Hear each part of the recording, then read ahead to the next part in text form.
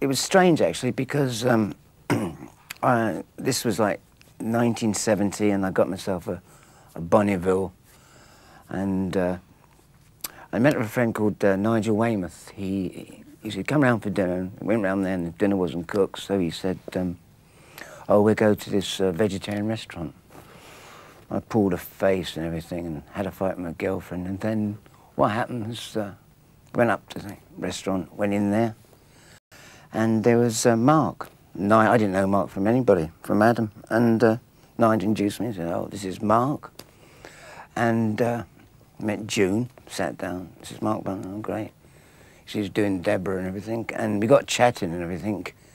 And Marc said he was having a terrible hustle trying to find somebody to play percussion and everything. And Nigel was pushing me, saying, oh, you know, do it. I said, no, no, no, no, I didn't really want to do it. And then the, um, the waiter came along and uh, it was brown rice with brown rice and vegetables with brown rice. And uh, next thing I know, Marc turned up, 10 o'clock in the morning, really keen, with his cloak, you know, and his ballet shoes, full of high spirits, right on the nose, came up, and we just played and jammed for about three hours, drank lots of coffee, joked and laughed, and just took off. And then we went to Wales. And uh, I mean, I, I was going along, but I didn't know what was happening. I was just going along for the trip and, you know, a good time at the time. And uh, before I knew where I was, I was on stage, you know what I mean? What happened somewhere? I'm sitting on stage playing. It was about two o'clock in the morning and I was living in Chelsea and uh, there was a knock at the door and there was Marc there with his acoustic guitar and he said, I've got this, got this song, Ride a White Swan rubbing eyes, what, Marc? Trying to wake up. Sat down. We sat in the kitchen, never forget, with a chess set. And we went through it. And it was lovely. I thought that was great. It was such a, it was such a good feeling. You know, and I knew that. But, you know, whether it'd make it, it felt good for us, but that is an important thing. If it feels good for you, I got a feeling it's going to feel good for everybody else. You know, and then, you know what happened then? And I remember we did this um, gig in Boston, and it Tyrannosaurus Rex, and we turned up very keen.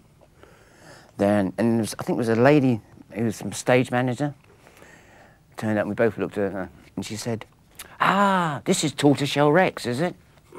You know, and everybody used to get the name inside out, outside in, and um, nobody actually could get round, get round the word, and it was better for kids, and it was, you know, it was like sending a cooking fat. We was in America, and my, Marc had ordered all these clothes to come over in a trunk, yeah? Uh, anyway, they arrived and back to the hotel, and Marc said, oh, I've got the trunk, and it's made by Alkasura and everything. And he opened the trunk, and all these things. And then he pulled out um, a zebra suit um, with a towel, you know, But the thing is, what they didn't do, didn't cut the tail. And it was on the ground. So when he put it on, because Marc was very small, they forgot that, and the tail was there, and he was swinging about like this, yeah? Am I out of shot? All right. Anyway, it was his tail and there's everything. And of course, everybody fell about, and I was laughing. And Marc turned and picked up his tail and put it under an arm, and he turned around and said to me, he said, well, that's show business.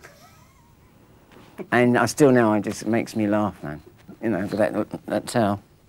And was about two or three foot in the ground. Every time he walked around, he's knocking glasses off the thing, yeah? And that would be it? That would be it, yeah.